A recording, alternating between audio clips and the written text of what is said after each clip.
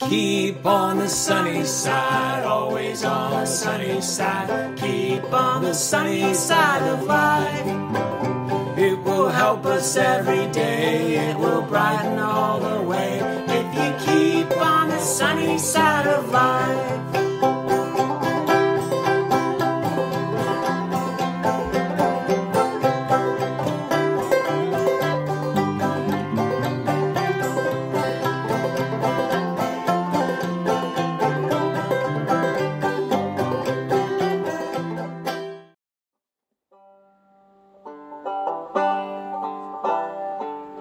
You know, hi. My name is Joe Martin. I'm the pastor at First Baptist Church in Toledo, Washington.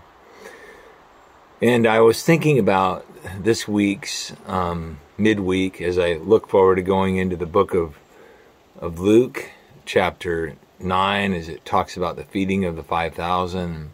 I was just thinking about the God's grace for when we're ignorant at times. I'll, I'll tie that in um, this weekend, but I'm just so grateful for God's grace. And I'm especially grateful for his grace toward us when we've been ignorant. I think that's maybe what Hank Williams was thinking about when he thought about Paul's uh, conversion. I saw the light, I saw the light, no more darkness, no more night. Now I'm so happy, no sorrow inside.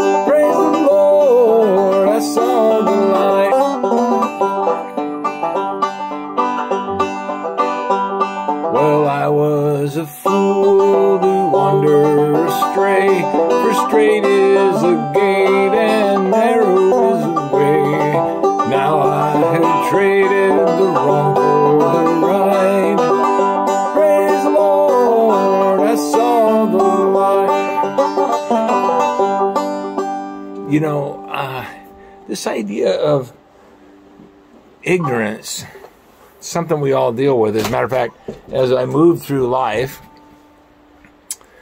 um, a little bit longer. Um, I mean, I want to say this without trying to pull the old pull rank or say, when I was a boy, my my daddy taught me this, you know, that kind of thing.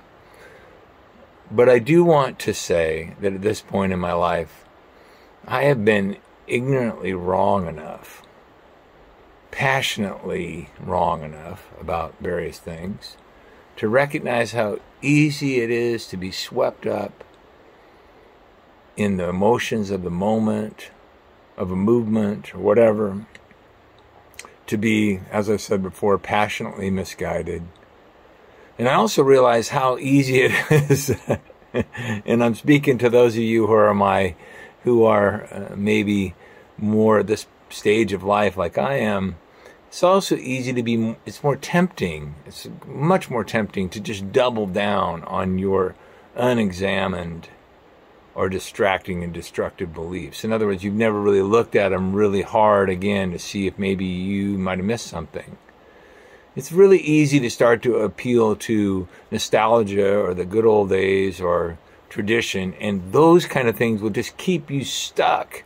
Like Jesus talked about the the Pharisees in his day, where they had taken the traditions of men and made them equal with the commands of God. So,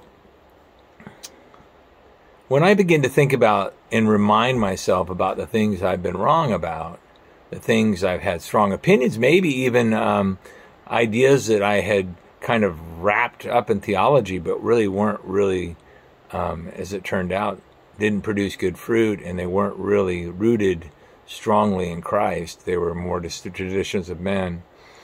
When I remember that, this also helps me express grace and patience toward others who are uninformed or misguided in their zeal at this point in their life. Maybe you young people or not necessarily always young people. Paul knew what it was like to be passionately wrong. Paul knew what it was like to be violently wrong. As a matter of fact, he wrote to a younger man in First Timothy. He was trying to express this and trying to kind of guide him with his example. He says in verse 12 of First Timothy, I thank God, I thank Christ Jesus, our Lord, who has strengthened me because he has considered me faithful in putting me into service. And then he says this, even though I was formerly a blasphemer and a persecutor and a violent aggressor, Yet I was shown mercy because I acted ignorantly in unbelief. He didn't really believe in the Lord like he should have. He didn't believe in Jesus. He was ignorant. And then he goes on to say, And the grace of our Lord was more than abundant with faith and love without which are found in Christ Jesus. It is a trustworthy statement deserving full acceptance that Christ Jesus came into the world to save sinners, among whom I am foremost of all. Hmm.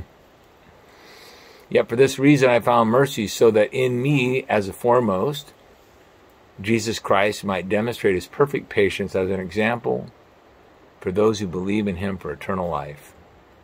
Now to the King, eternal, immortal, invisible, the only God be honor and glory forever and ever. Amen. Wow. Aren't you grateful for the grace of God when we're ignorant? We live in times where people are zealous and easily agitated on many religious, political, and cultural issues.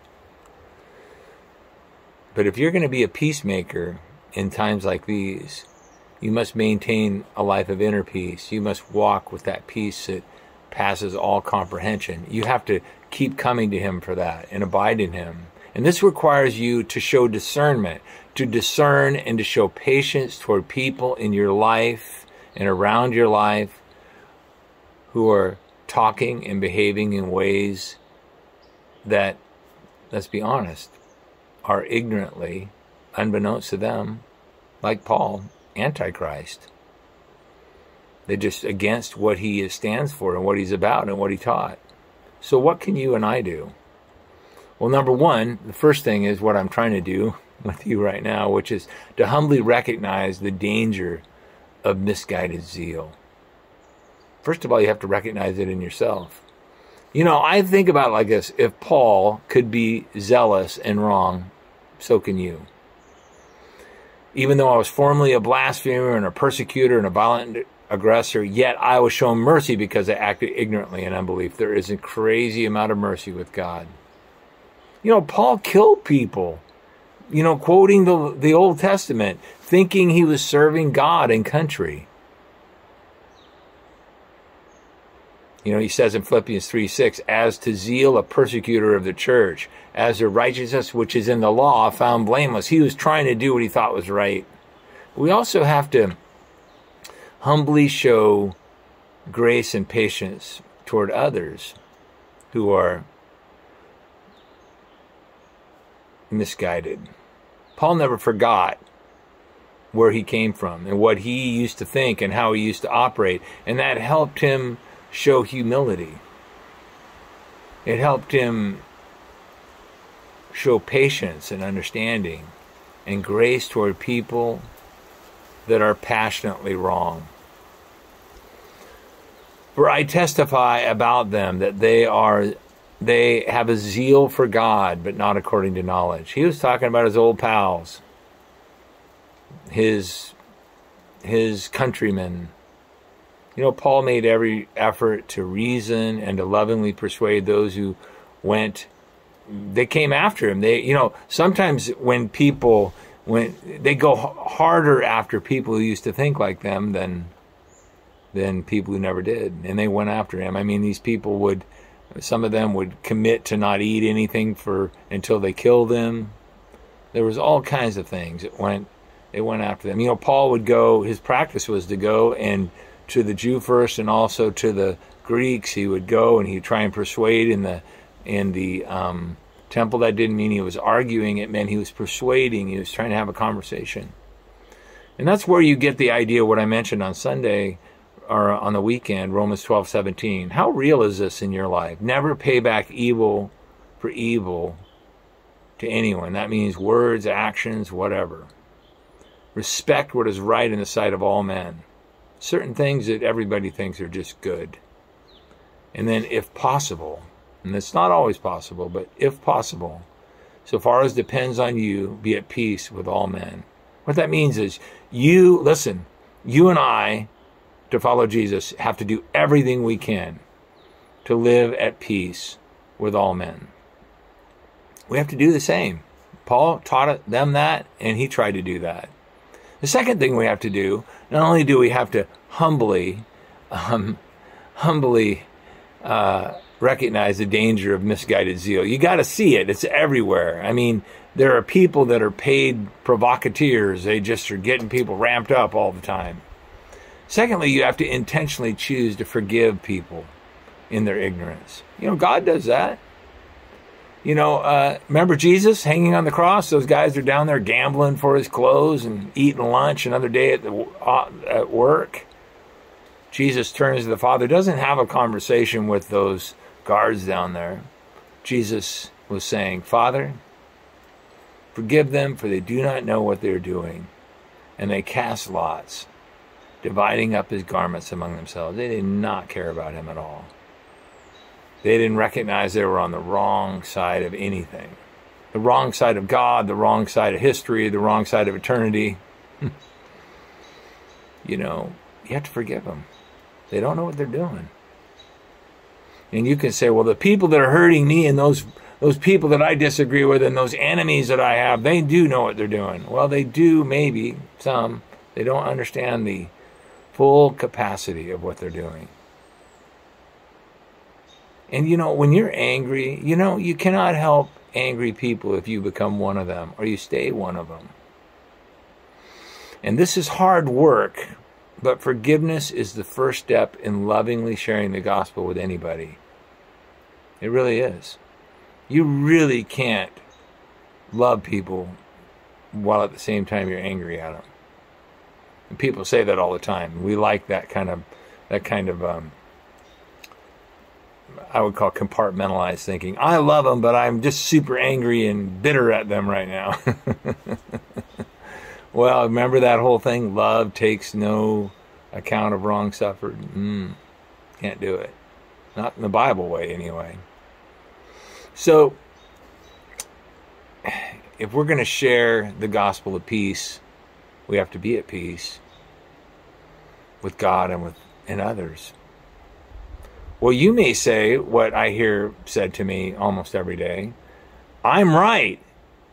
I'm right in my ideas, and I am so angry at those ignorant, unintelligent people. They're just such a bunch of um, dummies. you know, this is what we tend to do, right? We tend to think and talk about people, you know, on the TV or somebody we disagree with their religion or their politics or whatever, we always tend to talk about people we disagree with as stupid and probably low IQ. And of course, they must be stupid because and unintelligent, since if they were smart, they would think just like me, right? I think you got to go back to step one, the humility part. But it's also possible that they just don't know enough. Paul was not dumb, he just didn't know.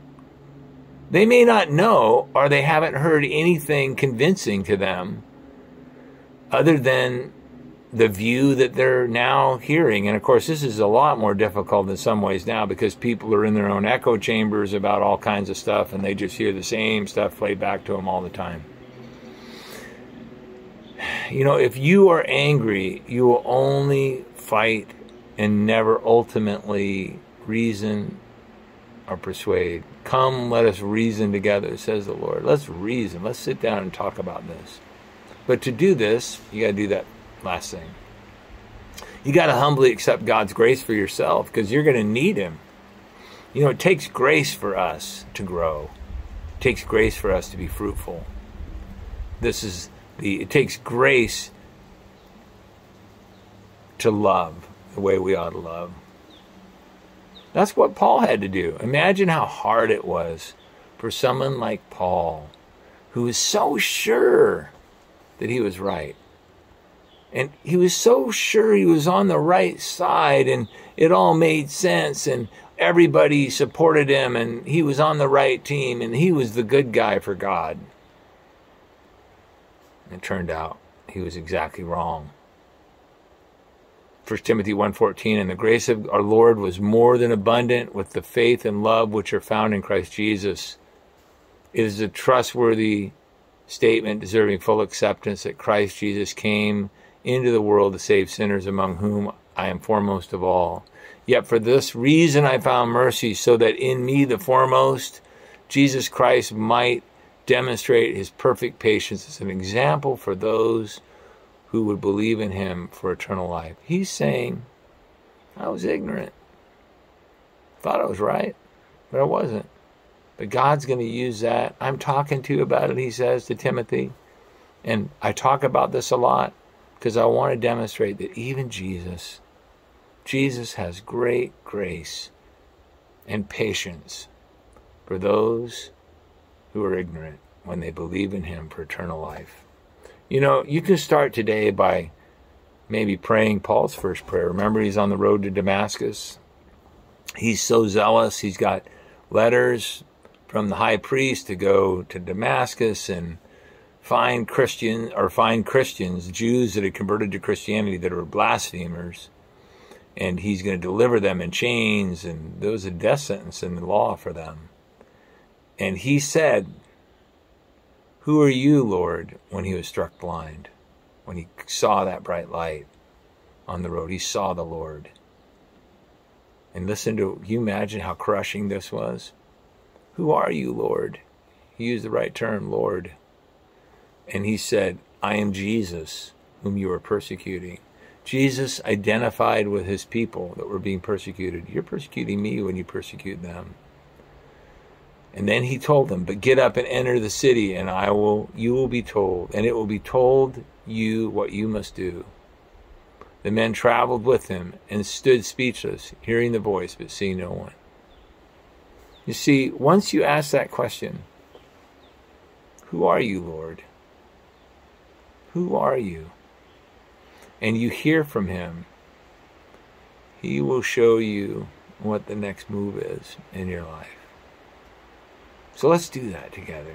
Let's make our community, our church at TFBC, that unexplainable community by by doing these things of having a lot of grace with each other and even for ourselves that we would be those people that would have that humility that willingness to be humble toward toward God and toward one another remember what he said humbly recognize the danger of your misguided zeal. You may have some right now. You have to hold that always in tension so that you don't become arrogant and too rigid. Secondly, intentionally choose to forgive the ignorant that are around you. You may end up in the process of forgiving them and being patient with them, find out that you got a few things to learn too. And then, lastly, I think it's really important that you receive that. Humbly accept God's grace for yourself because when you see it, you too will say, Who are you, Lord? And he'll say, Here's what I want you to do next. Thanks for watching this. If you want to share it with somebody you think it might help them, please do that. And then um, remember this weekend's message. And I just want to encourage you, some of you are going to watch this. We got a lot of things coming up, different camps, of course, I'm involved a lot in Man Camp. It's a wilderness camp coming up in August 8th through 15th. You can find out more information about that. And also, but I want you to, I really want you to put these to, to share these things with other people. There's lots coming up. You want to hear more about that and more about this as we go through the book of Luke. Come to either look for the um, the weekend message or come to one of our in-person services on Sunday um, 8 o'clock, 9.30 is an outdoor service, and 11. God bless you.